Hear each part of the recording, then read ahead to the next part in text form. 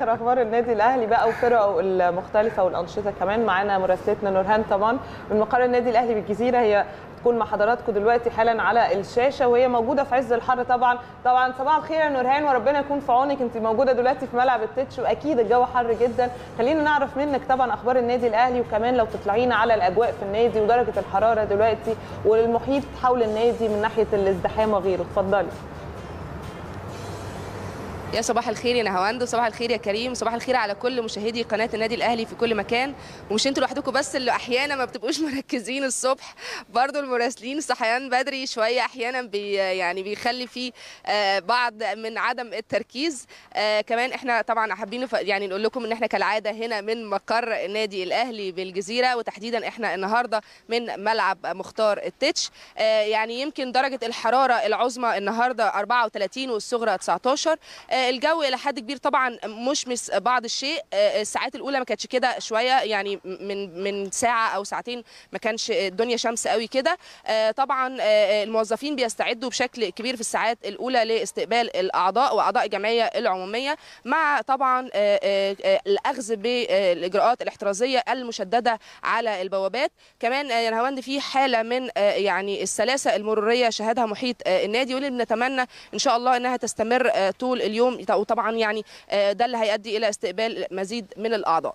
إحنا هنا من ملعب مختار التتش. يمكن النهارده إن شاء الله الفريق هيتدرب الساعة 4 وده تاني تدريب للفريق بعد الفوز بلقب السوبر الأفريقي. كان التدريب امبارح أيضا الساعة 4 طبعا التدريب هيبدأ بمحاضرة فنية زي ما عودنا الكابتن بيتسو موسيماني للاعبين استعدادا لمباراة الترجي اللي إن شاء الله من المقرر إقامتها يوم 19 في الشهر الجاري في ذهاب نصف نهائي دوري أبطال أفريقيا. آه كمان خلينا نفكركم إنه لا زال آه استمرار غياب آه ست لاعبين آه المنضمين لمعسكر المنتخب الأولمبي وهم كل من مصطفى شوبير وأحمد رمضان بيكهام وأكرم توفيق وناصر ماهر وطاهر محمد طاهر وصلاح محسن. النهارده بقى كمان الساعة 6 إن شاء الله قمة نارية ما بين الأهلي والزمالك على صالة المقاولون العرب للكرة الطائرة. مباراة النهارده هتحدد بطل دوري الطائرة. النادي الزمالك والأهلي بيتساووا في النقاط ب 59 نقطة ولكن نادي الزمالك فارق بالفوز في 20 مباراة بينما النادي الأهلي فاز في 19 مباراة. ومباراة اليوم إن شاء الله اللي هتحدد بطل الدوري. كل التوفيق إن شاء الله لفريق الكرة الطائرة رجال وكابتن أحمد صلاح طبعا وكابتن عبد الله عبد السلام ونجوم الكرة الطائرة للنادي الأهلي.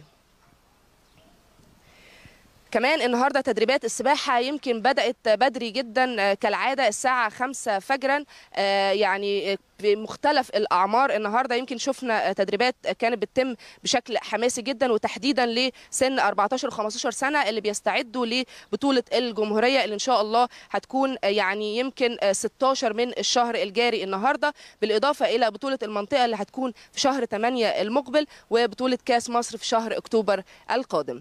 دي يعني يمكن كانت أبرز أخبارنا هنا من مقر النادي الأهلي بالجزيرة. شكرا لكم جدا وعودة للاستوديو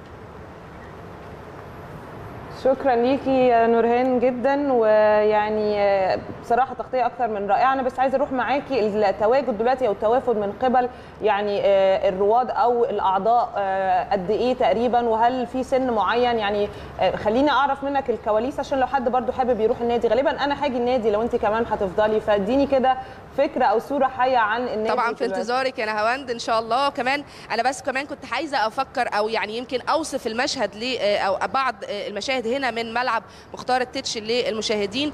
يمكن في يعني بعض أعمال التطوير هنا إحنا بنشوفها في الصباح اليوم. مدرج كامل بيتم هدمه لطبعا يعني يمكن داخل ضمن أعمال التطوير.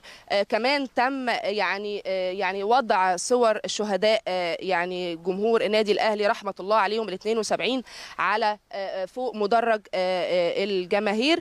يعني يمكن هنا حتى كمان الجرار بيستعد زي ما قلنا لكم لتدريب الفريق في الساعة 4 دي كانت مشا... دي يمكن مشاهد التتش أكتر كمان من يعني أخبار الجمعية العمومية. تمام تمام. ماشي. شكرا ليك يا نورهان جدا. شكرا. وفي الوقت اللي